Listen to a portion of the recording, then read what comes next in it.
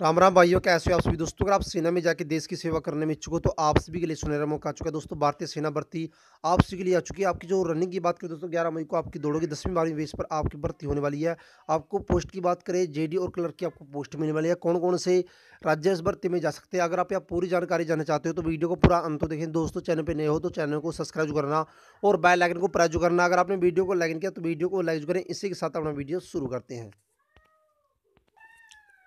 दोस्तों Indian army open भर्ती आपके हिमाचल प्रदेश राज्य के लिए आ चुकी है, जो आपकी रैली चलने वाली है। दोस्तों, एक जून से लेकर आपकी आठ जून तक आपसी की भर्ती चलने वाली है। इस भर्ती के लिए आपसे भी ऑनलाइन आवेदन की बात करें दोस्तों, दो अप्रैल से लेकर सोलह मई तक आपसे भी इस भर्ती के लिए ऑनलाइन रजिस्ट्रेशन करा सकते हो। इसमें हिमाचल प्रदेश के कई डिस्ट्रिक्टों की आपसी की भर्ती होने वाली है। आपको जो पोस्ट की बात करें कौन कौन सी पोस्ट आपको देखने को मिलने वाली दोस्तों जनरल ड्यूटी के लिए आपको पोस्ट मिलने वाली है और कलर की आपको इसमें पोस्ट देखने को मिलने वाली है। ठीक है? आपकी बात करें दोस्तों, इसमें यहाँ पे अगर आपके पास गोरखा का सर्टिफिकेट है तो भी आप इस भर्ती में जा सकते हो और वहाँ के जो राज्य, यानी कि हिमाचल प्रदेश के स्थायी कैंडिडेट है, वो भी इस भर्ती के लिए फार्म अप्लाई कर सकते हैं। इस भर्ती के लिए आपको सबसे पहले ऑनलाइन रजिस्ट्रेशन करना होगा, फिर आप इस भर्ती में जा सकते हो। बिना ऑनलाइन फार्म भरे आप इस भर्ती में नहीं जा सकते, ठीक है?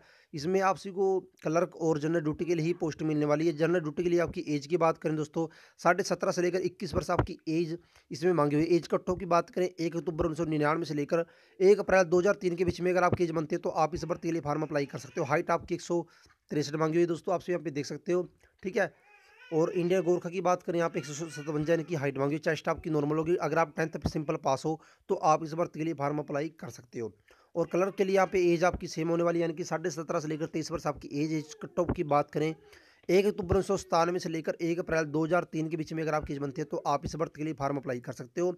यानी कि हिमाचल प्रदेश वालों के लिए तो एक सौ बासठ होगी और इंडियन गोरखा की जो भाई भर्ती देखेगा, उसको बढ़ेगी यहाँ पे हाइट एक सौ सतवंजा। वेट आपकी चेस्ट सेम होने वाली है। अगर आप टेंथ प्लस टू पास हो तो आप इस भर्ती के लिए फार्म अप्लाई कर सकते हो। अगर आपने प्लस टू कमर्स से की है तो आप इस भर्ती के लिए फार्म अप्लाई कर सकते हो। अगर आपके हर एक सब्जेक्ट में पचास परसेंट अंक है तो आप इस पर तेली फार्म अप्लाई कर सकते हैं। पूरी जानकारी इस नोटिफिकेशन में देख सकते हो। ज्वाइन इंडियन आर्मी की वेबसाइट पर जाकर आप भी यह नोटिफिकेशन डाउनलोड कर सकते हो। बस आज की वीडियो में इतना ही है। इसी के साथ जय हिंद, जय भारत, जय हरियाणा।